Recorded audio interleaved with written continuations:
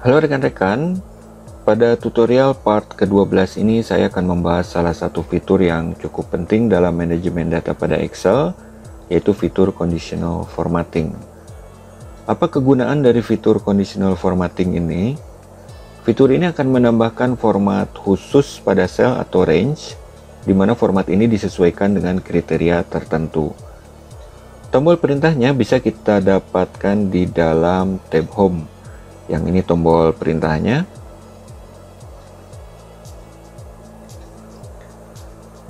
Jika kita klik tombol ini, maka akan ditampilkan 5 template default untuk conditional formatting ini, yaitu highlight cell rules, top bottom rules, data bars, color scale, dan terakhir adalah icon sets. Kita akan lihat satu persatu. Highlight cell rules digunakan untuk memberi format sesuai dengan kriteria data tertentu.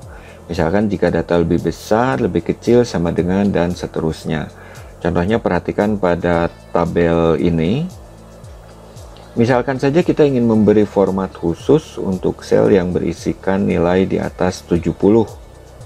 Caranya, pilih range datanya, yaitu sel C3 hingga C14 kemudian klik conditional formatting kita pilih highlight cell rules kemudian kita pilih sesuai contoh yaitu greater than ya lebih besar dari 70 berarti saya klik greater than dan di sini tinggal kita ketikkan 70 sesuai contoh. Di bagian kanan ini kita tinggal memilih format yang diinginkan jadi contoh di sini ada light red fill berarti nanti selnya akan diisi dengan warna merah. Kemudian yellow fill akan diisi dengan uh, warna kuning dan lain sebagainya. Jika tidak ada format yang sesuai, kita bisa memilih custom format di sini. Kalau saya klik, maka akan ditampilkan kotak dialog format sel biasa. Kita bisa merubah tipe datanya juga, kita bisa merubah huruf, border, dan uh, warna untuk sel. Umumnya yang sering digunakan adalah warna. Misalkan saya pilih warna kuning saja seperti ini. Kemudian klik OK. Dan klik OK lagi. Hasilnya sekarang kalau kita lihat pada tabel ini nilai yang di atas 70 itu sudah diberi format yaitu sel yang berwarna kuning. Jika kita rubah nilai lainnya menjadi di atas 70 maka secara otomatis formatnya akan berubah juga misalkan ini saya ganti jadi 80 maka sekarang warnanya akan menjadi kuning. Kalau yang 89 ini misalkan saya ganti dengan 50 maka warna kuningnya jelas akan hilang.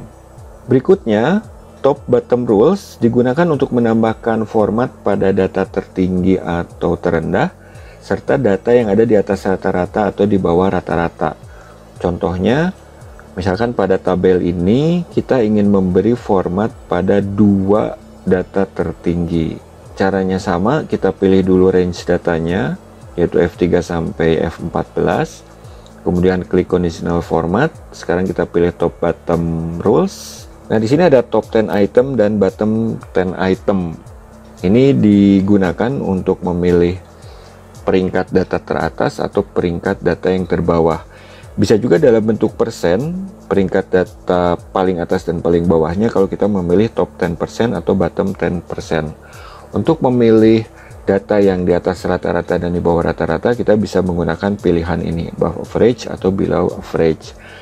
Yang sesuai contoh, karena kita ingin melihat dua data tertinggi, maka yang kita pilih di sini adalah top 10 item. Saya klik top 10 item, Kemudian karena kita inginnya melihat dua saja, maka angka 10 ini kita ganti dengan angka 2. Dan di bagian format sama dengan sebelumnya, saya gunakan warna kuning lagi misalkan. Oke, okay, dan oke okay sekali lagi. Hasilnya sekarang pada tabel ini dua data tertinggi sudah diberi warna kuning. Jika ada data yang berubah juga sama, akan diberi format yang sesuai. Misalkan kalau ini saya ganti dengan 500, maka sekarang warna kuningnya pindah ke sini karena dua data tertinggi sekarang pada rangkaian data ini adalah 200 dan 500. Kita lanjutkan. Ketiga template conditional formatting berikutnya secara garis besar sama, hanya berbeda dari format dan visualisasinya saja. Ketiga template ini secara otomatis akan melihat data pada range kemudian akan mengatur format sesuai data pada range tersebut. Kita akan lihat satu persatu. Yang pertama adalah data bars. Data bars ini akan menambahkan format berupa visualisasi berbentuk bar yang lebarnya akan disesuaikan dengan data yang ada di range yang kita pilih. Contoh penggunaannya sama, berarti kita pilih dulu range-nya, kemudian klik conditional formatting, kita pilih data bars, dan di uh, pilihan ini kita tinggal memilih warna yang diinginkan. Misalkan saya ambil warna yang pertama saja, yaitu warna biru, klik dan perhatikan hasilnya sekarang. Pada range C18 sampai C29 ini sudah ditambahkan visualisasi berupa bar di mana lebarnya ini menyesuaikan dengan datanya juga. Sebagai contoh kalau misalkan yang ini saya ganti menjadi 400 maka bar yang paling uh, lebar harusnya yang 400 ini. Saya enter dan hasilnya seperti ini. Berikutnya color scale. Color scale ini akan memberi variasi warna yang berbeda pada sel sesuai dengan data. Semakin tinggi datanya maka warnanya akan semakin gelap. Kita coba pada tabel yang ini.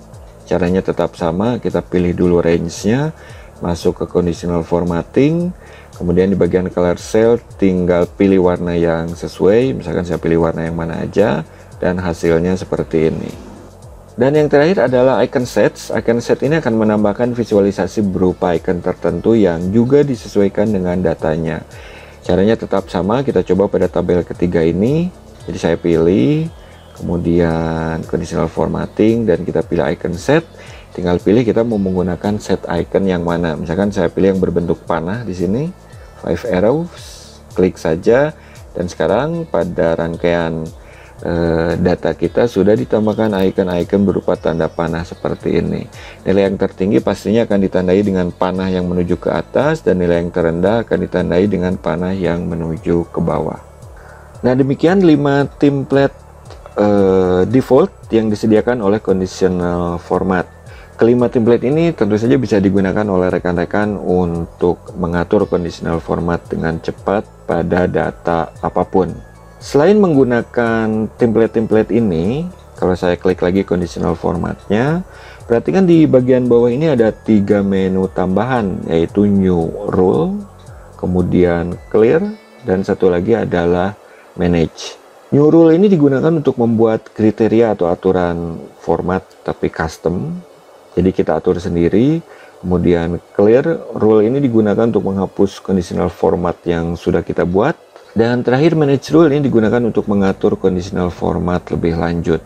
Dalam penerapannya, new rule dan clear rule ini jarang digunakan karena untuk membuat custom format ataupun menghapus format akan lebih mudah dan aman jika kita menggunakan manage rule.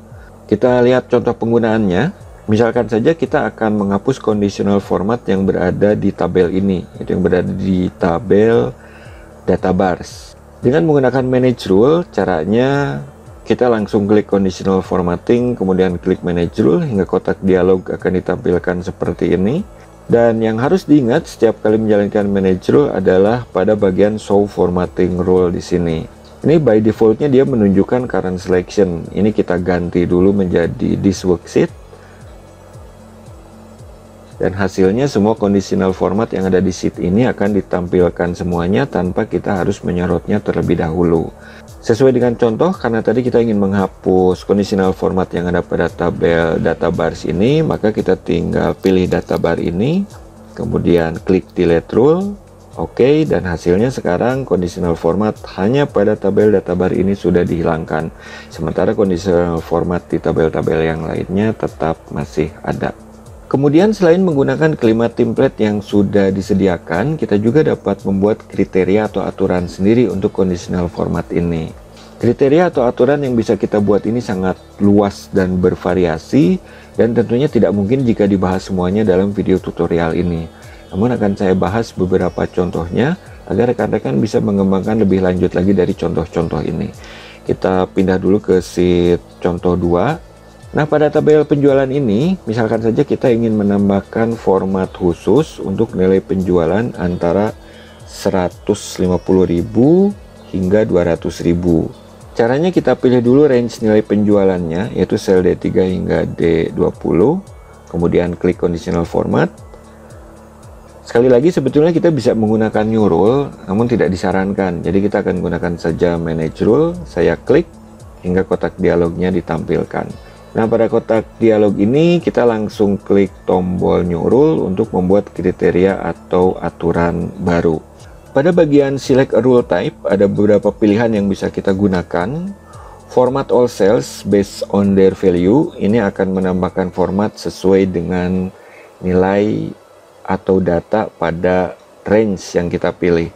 Kemudian format only cells that contain ini akan menambahkan format sesuai dengan rentang angka atau nilai data tertentu. Kemudian format only top or bottom ini untuk menambahkan format pada peringkat data di atas atau peringkat data yang paling bawah. Kemudian yang berikutnya pilihan ini digunakan untuk menambahkan format pada nilai yang di atas atau di bawah rata-rata. Yang berikutnya ini digunakan kalau kita ingin menambahkan format untuk data yang mengandung duplikat. Dan terakhir ini benar-benar full custom yaitu kita bisa menggunakan formula untuk mengatur conditional format ini.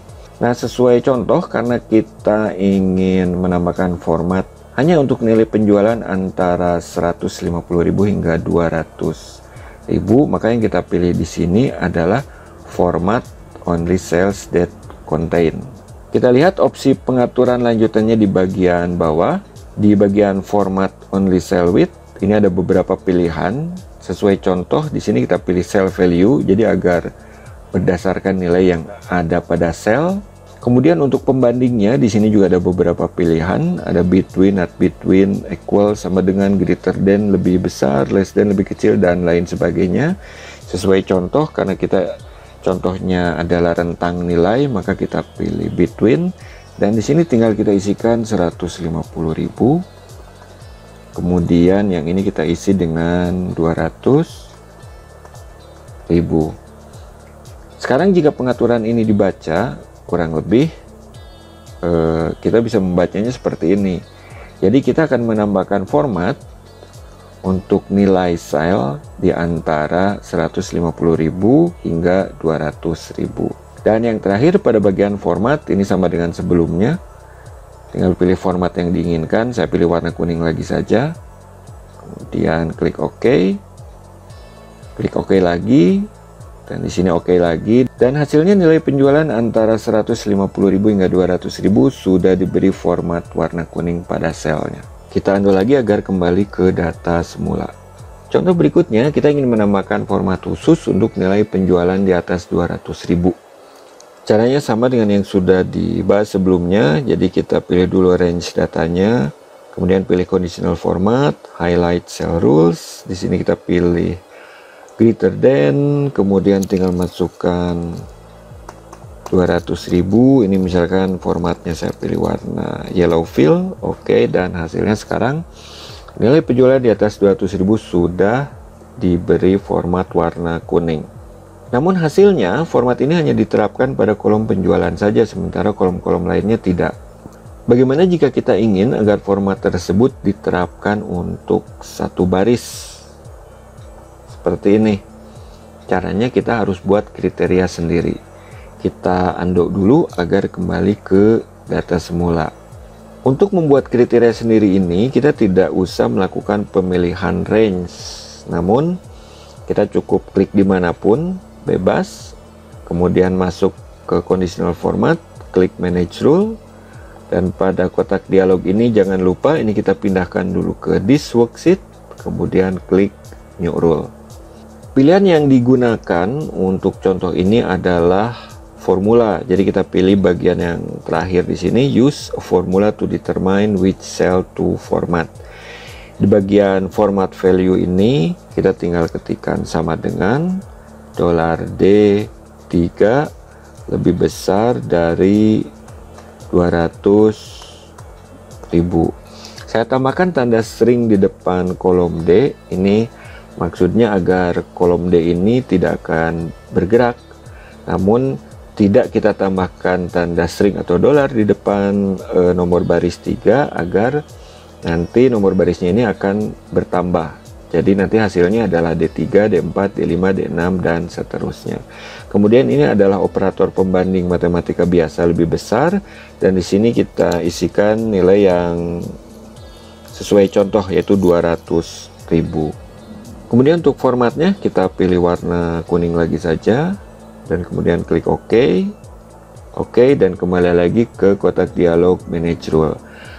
Karena kita ingin format ini diterapkan untuk satu baris data, maka kita harus memasukkan range data ini di bagian applies to ini. Saya klik di sini,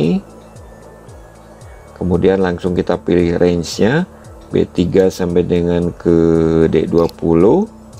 Dan jika sudah, kita coba dengan mengklik apply dulu. Klik apply, Nah ini biasanya suka terjadi penyimpangan data seperti ini. Itu biasanya rumusnya mendadak berubah setelah kita memilih range di bagian apply itu ini. Kita perbaiki, kita pilih lagi di worksheet. Nah perhatikan di sini rumusnya berubah, entah kenapa ini kadang terjadi seperti ini. Tinggal kita perbaiki saja, klik edit rule. Ini kita hapus, kita masukkan sekarang sama dengan dolar D3 sama dengan tadi ya lebih besar dari 100.000 dan kemudian oke. Okay. kita coba lagi sekarang apply dan sekarang hasilnya sudah tepat ya. Kita klik OK untuk menutup kotak dialog ini. Jadi sekarang nilai penjualan di atas 200.000 ini sudah berwarna kuning namun format warna kuning ini diterapkan di satu baris jadi tidak hanya di kolom penjualan saja kita coba rubah data lainnya misalkan ini saya ganti menjadi 500.000 untuk melihat hasilnya dan satu baris data sudah diberi warna kuning semua Contoh berikutnya adalah conditional format dengan visualisasi data bar yang umum digunakan dalam pembuatan dashboard. Langsung saja kita coba, kita andok dulu agar kembali ke data semula. Pertama, kita salin data penjualan data penjualan ini ke kolom sebelah itu ke kolom E cukup dengan uh, fungsi reference biasa tinggal sama dengan klik D3 dan enter. Untuk mengisi bagian bawah tinggal jalankan autofill saja. Kemudian kita pilih range data E3 sampai E20 ini jalankan lagi manage rule kemudian klik new rule. Di sini kita pilih uh, opsi yang pertama format all cells based on their value.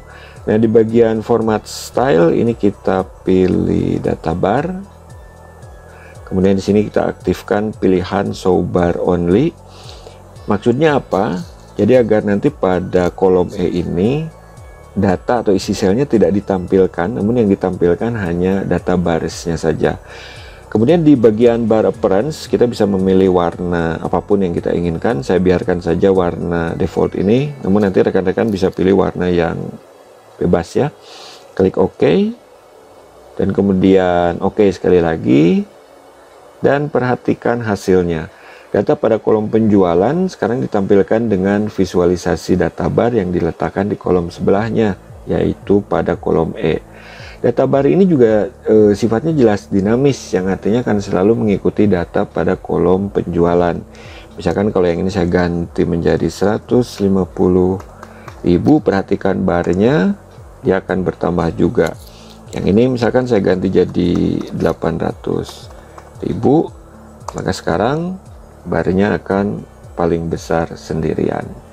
Nah, eh, demikian tutorial kali ini yang membahas tentang conditional formatting pada Excel di mana conditional formatting ini kita gunakan untuk menambahkan format pada sel atau range sesuai dengan kriteria atau aturan tertentu.